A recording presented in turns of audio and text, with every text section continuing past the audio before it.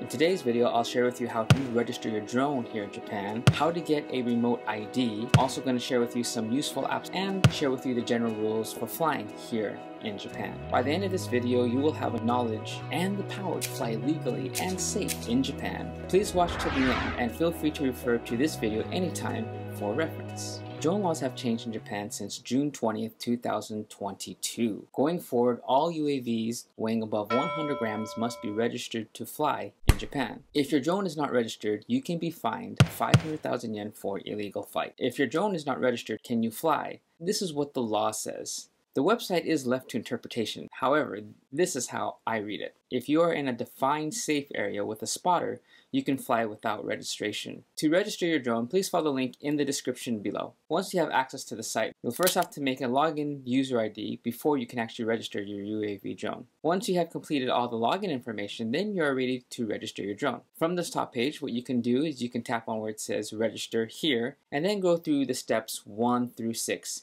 It will take about 15 to 20 minutes to complete all the steps. Before you actually go through this process, make sure that you have the following items ready. Uh, have your passport or your Japanese driver's license ready. You also need your drone serial number and your drone model number. If you have a remote tag, you'll need to have all that information ready also. So as you fill out the information, you will come to the part that will ask for your drone remote ID. If you don't have one yet, it's okay to say no you can always update it later. I went ahead and put no on my registration and it went through just fine. I had no issues. So let's talk a little bit more about these remote IDs. There's not too many remote I, external remote IDs out on the market right now at this time. Now in Japan, there is an external remote ID by a company called TEAD. I believe it's pronounced Teed. It is currently available as an external remote ID and you can simply place it on your drone. So this is the only one that they have released in Japan right now and the price runs around 43,300 yen,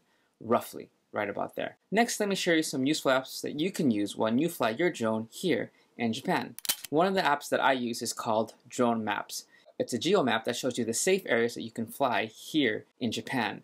It's very similar to the DJI map. All the areas that are marked red are places that you cannot fly. And those areas you need to have special permission. If you're in an area that's no red, you're pretty much safe to fly. Another useful app to have is called SORAPASS. What this simply is, is insurance for your drone. So if you cause damage to anybody or if you hurt anybody, the insurance will cover it up to a certain amount. It's well worth the price to have just for peace of mind, especially if you're flying your drone professionally here in Japan. The other app that I like to use with my drone is CapCut. What you do is after you're done shooting, you can drop your clips onto your mobile phone and then you can use CapCut to put together your clips and you can use this application to post to your social media. Before you fly your drone in Japan, it's important to know the rules. I'm just going to go over some very general rules and I'm going to explain this picture right here because this picture right here pretty much explains where you can and you cannot fly.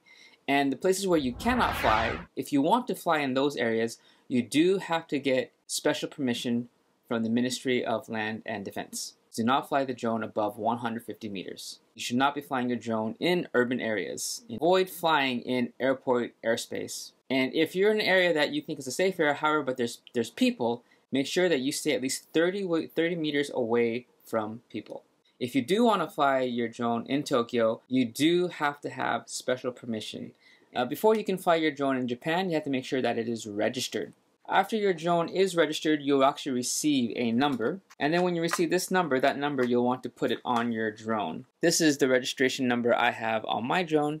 So whenever I'm flying or if anybody asks me anything about my drone, I just say drone is registered, it's legal to fly. But even though I have a permit to fly within Tokyo, I still need to contact the right authorities before I fly so they know that I'm going to be flying in that area. Remote IDs can be costly, however, they're good to have but you can still register your drone without a remote ID. Um, if your drone is not registered and you're flying in Japan, could be fined up to 500,000 yen for flying your drone illegally. Don't take that chance. Make sure you register your drone so you are safe and legal and clear to fly. Uh, we also covered some apps. The app I use the most, Drone Maps. You can whip it out on your iPhone. You can check anytime just to make sure that the area you're in is safe to fly. Um, thank you for watching. I hope you found this information very informative and Good luck to you in getting your drone registered. Don't forget to smash that like button and subscribe and hit that notification bell to stay up to date on my adventures on getting lost in Japan. So further ado, let's get done with all this drone stuff and let's go shoot some more videos and have some fun wandering Japan. Peace out, I'll see you on the next round.